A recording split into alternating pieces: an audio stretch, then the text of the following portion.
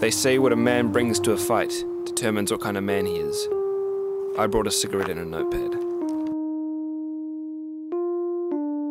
I've been on his trail for a few weeks, and now the stench is undeniable.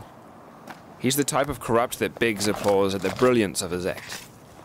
It was day 16, and I still hadn't broken a lead. The breadcrumbs led to nothing but an open sea. His files were clean. Too clean. It wasn't long before people started coining him as a superhero, the first of his kind. Not much longer after that, he was pinned a nickname. The Defender, they called him.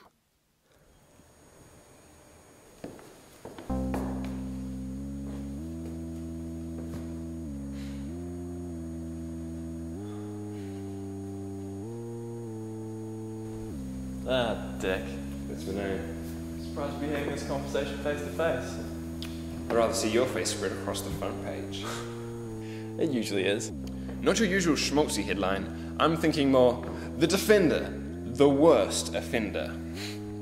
I never did like your writing, Dick. Always a cynic. You need to wake up, smell the fumes, because the defender is all the rage.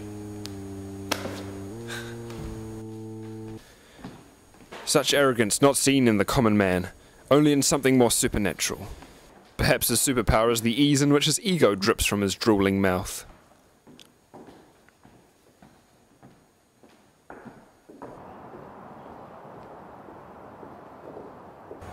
Dick Shelby.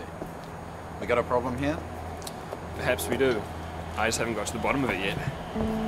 The Defender? Don't waste your time, Dick. He's Wellington's finest.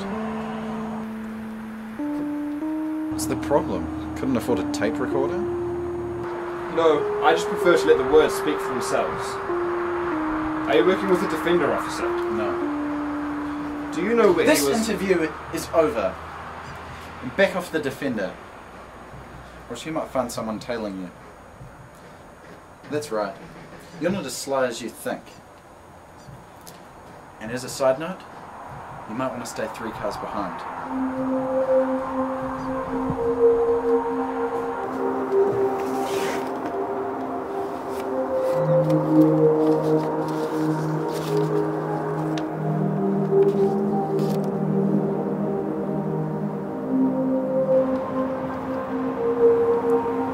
In a matter of 10 seconds, the case turned from futile to promising.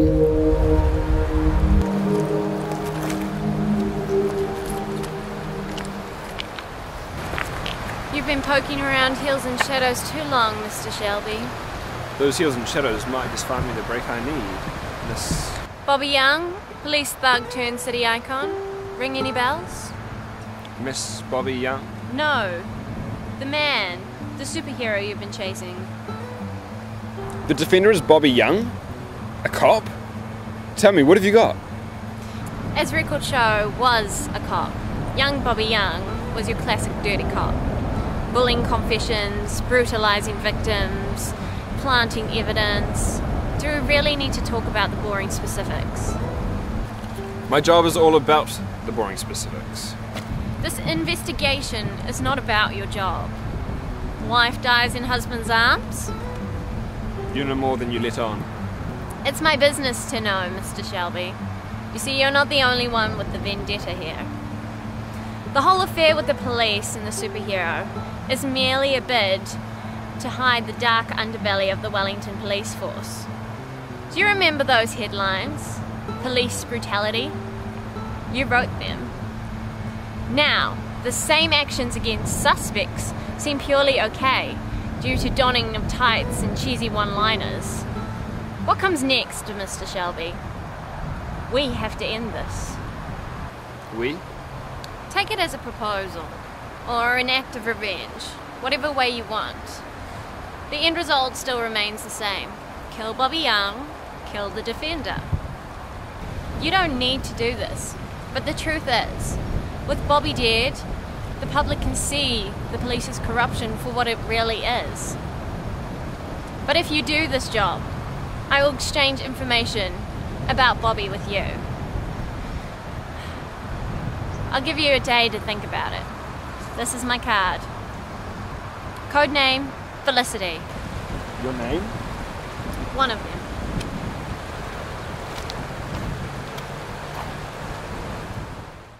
Bobby Young. A bad man put on a pedestal of praise and worship. People idolize him. The police exploit him. There wasn't much to think about. I wanted to kill him when the offer hit the table. I only needed time. Time to prepare for when I'd pull the trigger.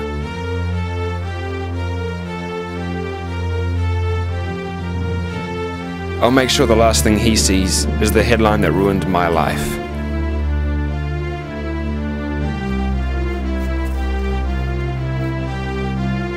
May 16th. Wife dies in husband's arms. Do you remember, Bobby? Do you remember that that was the night you apprehended those two thugs, whose only crime was tagging derelict buildings? Yet the papers wrote it differently, didn't they? Cop killers, they called them, and the piece was written hours before the event happened. You walked past my wife, Bobby. You walked past her and ignored her while she died, just for the glory of the headlines.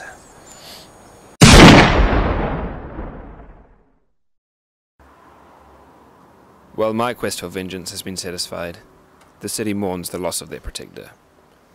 Although he was just a corrupt cop, what he symbolized was important to the people. They need someone to bring hope and peace when all seems futile. They need a new breed of superhero. And I think I know just the guy.